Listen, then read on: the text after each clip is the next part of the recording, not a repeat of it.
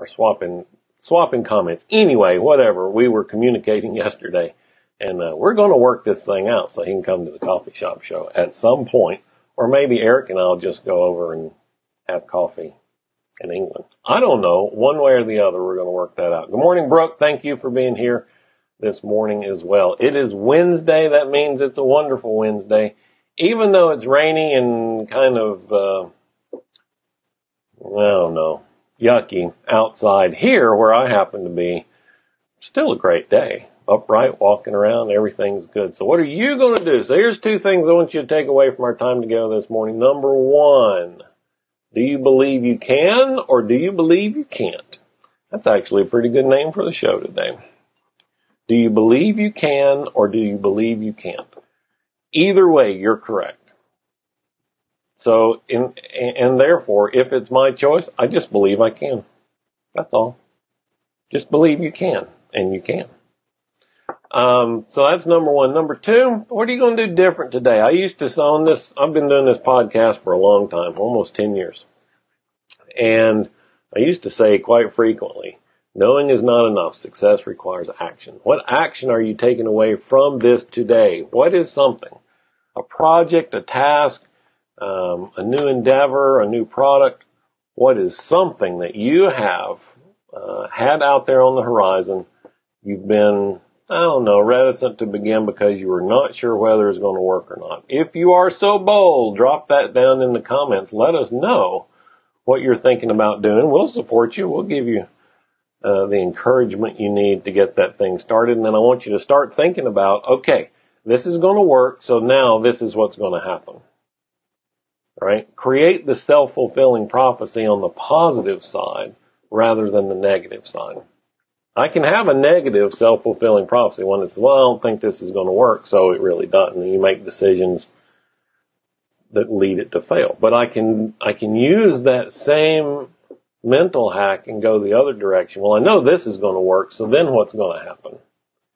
And now all of a sudden you find yourself two or three steps ahead and you're pulling yourself through this thing that you were uh, reluctant to begin in the first place. So what are you going to start? And what are you going to do next? This is going to work, so what's the next step in getting down that path? Those are your two pieces of homework because success requires action. Good morning, Stephanie. Good morning, Mr. Joe. Good to see you this morning. Joanna, I hadn't seen you in a while. Glad that you are here with us this morning.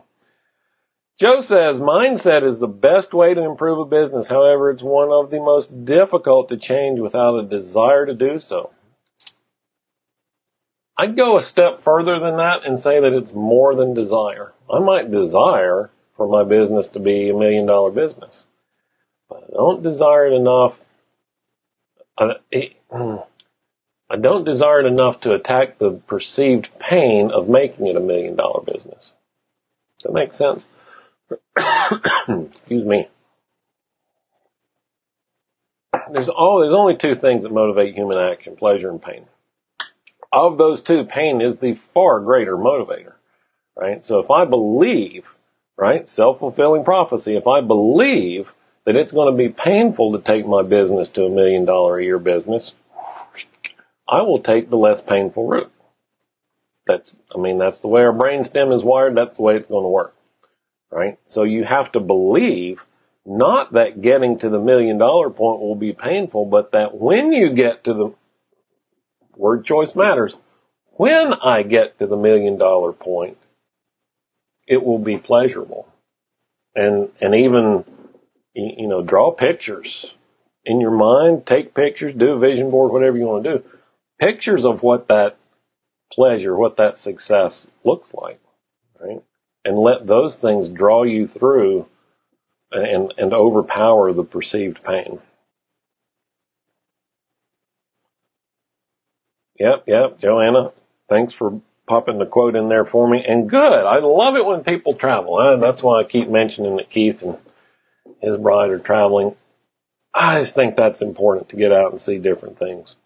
Most, so Joe says, most increases in execution are caused by removing one dimensional thinking. I'll go along with that. I think so. You get so focused on this, on the one element, right? so focused on the one element that I can't see anything else around me. Yes, that's a wooden pair. I leave it on my desk. It's my fidget spinner, okay? So you get so focused on that one thing that you can't see anything around you, right? But by taking a step back for a second, right, and then looking at what's beyond that one obstacle, right, and making making the reward that's beyond the obstacle so huge that the obstacle begins to look small, right? Now you're really onto something, and you found a way to get past that roadblock.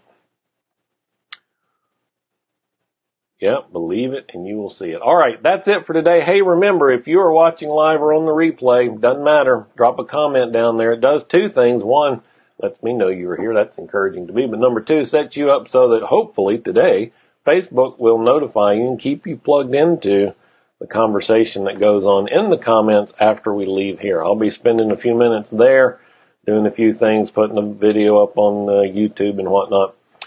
Uh, hey, by the way, if you're not subscribed to the YouTube channel, you should do that. There'll be a link down in the in the description in the comments of this live. The link's already there, I think. Uh, click over there and subscribe to that channel. And uh, I got some stuff planned for that channel as we get into the winter months, and I'm going to be inside more. uh, so I have some interesting stuff coming up there. I would appreciate that also. All right that's it for today. You guys have a wonderful Wednesday. I'll be back again. Oh, uh, Wednesday. So coffee shop show coming up at nine o'clock, about an hour and 45 minutes from now. Eric and I will be at Old Town Coffee in beautiful Five Points, Huntsville, Alabama. If you happen to be here, stop by. Look, you got no excuse for not making it. Joanna came all the way from the Netherlands to be in the coffee shop. All right. So everybody can come and join us in the coffee shop. If you can't be there in person, be there on video. We'll talk to you in a couple of hours and we'll be back here with another installment of 7 Minutes in the Morning tomorrow. Until then, have a great Wednesday.